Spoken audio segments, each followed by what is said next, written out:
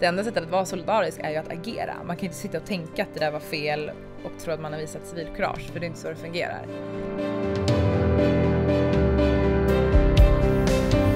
Jag tycker en jättebra sak som du sa nu eh, är Ofta kan man ju dra rätt grova skämt, typ eh, Det vet jag också hur jag gör i, i så här grabbgruppen Som är så här att man brukar alltid säga det att skulle någonting läcka ut så skulle ens karriär vara över Mm. Och eh, jag antar att du också har dragit rätt grova skämt i dina, kanske med dina, dina tjejer eller något sånt där liksom Eh, Men i alla fall, jag vet ju själv att jag har gjort det Det var en liten tankeställare till mig när jag, när jag hörde det på ditt, på ditt sommarprat faktiskt Mm.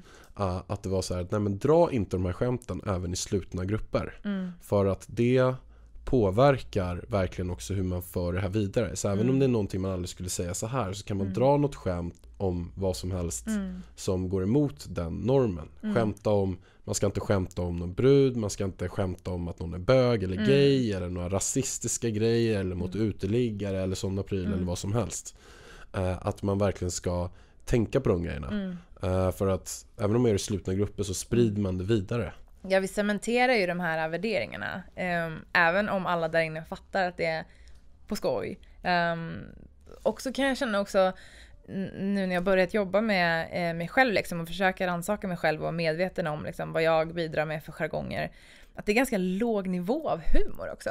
Alltså det är egentligen inte så himla roligt om man eh, börjar liksom ifrågasätta sig själv så är det lite såhär... ah, det är så jävligt sunkigt. Alltså att jag inte har något annat sätt att hänga med mina bästa polare eller mina arbetskollegor med än att typ skämta på någon annans bekostnad. Jag blir besviken på mig själv helt enkelt. Och Ja. Du får fan ta och sluta med det där nu alltså Linnea. jag försöker.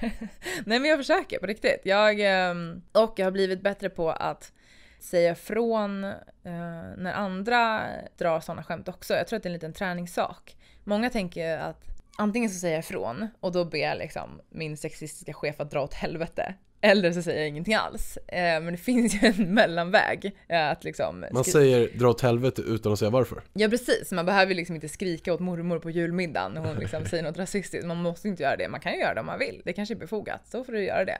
Men om man inte vill det, men ändå vill visa civilkurage och liksom Ja. det enda sättet att vara solidarisk är ju att agera. Man kan inte sitta och tänka att det där var fel och tro att man har visat civilkurage, för det är inte så det fungerar.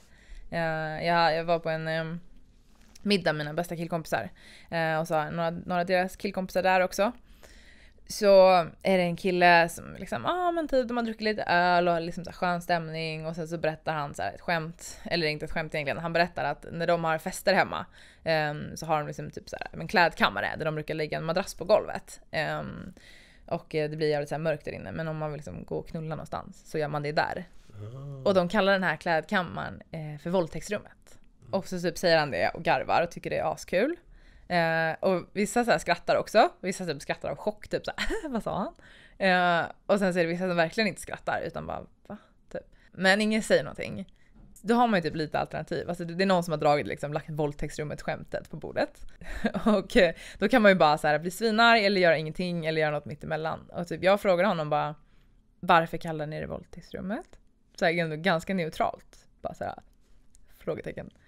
Eh, Börja ta upp din mobil och nej, livesända på Assholes online. Bara, Explain this bitch. Ja men satan vad jag inte hade knappt vågat sitta Alltså, jag Nej. kan säga så här. jag var lite nervig inför den här intervjun, jag bara Hoppas jag inte säger någonting som råkar vara någonting fel Många tror att jag är lättkränkt, jag är verkligen inte det.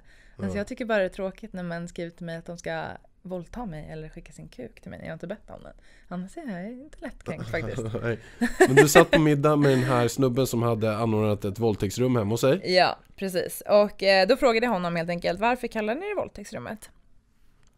Och han, det blir så här tyst, lite dålig stämning, absolut, men inte så här jätte. Utan bara aha, eh, och han blir tyst och tänker. Och sen ska han liksom stapplande för att börja försöka förklara varför våldtäktsrummet är ett roligt skämt. Det är svårt. Och sen så när han har försökt förklara klart, typ så här, eh, men typ det är mörkt och eh, de är fulla och du vet det bara blir så här värre ju mer han pratar. Um, och jag bara okej, nej jag fattar fortfarande inte. Så varför kallar ni det för våldtäktsrummet? Och sen till slut kommer han ju fram till att han bara, nej jag vet inte. Jag vet inte vad jag ska säga. Jag bara, nej okej. Då tycker jag vi ska döpa om ditt rum för jag tycker det är fett obehagligt. Uh, och sen typ döper vi om hans rum. Och jag tycker fortfarande att det är ett vidrigt skämt men middagen är liksom inte förstörd, ingen har stormat ut, ingen har kastat glasflaskor på varandra. Det är inte så här, eh, jag tänker aldrig mer träffa den här personen igen. Men dock så kan jag känna så här, personer som känner att de vill göra det, då gör man det. Men om man inte vill det, de här personerna som känner att de sitter här i liksom i lunchrummet och så drar den här personen rasistiska grejer, ofta liksom pratar om flyktingar eller om EU-migranter eller vad som helst. Om man känner att man vill säga någonting så gör det. Det kan vara liksom ganska bara, bara säg någonting så har du i alla fall agerat, då har du visat civilkurage. Om du är tyst så har du på något sätt också tagit ställning.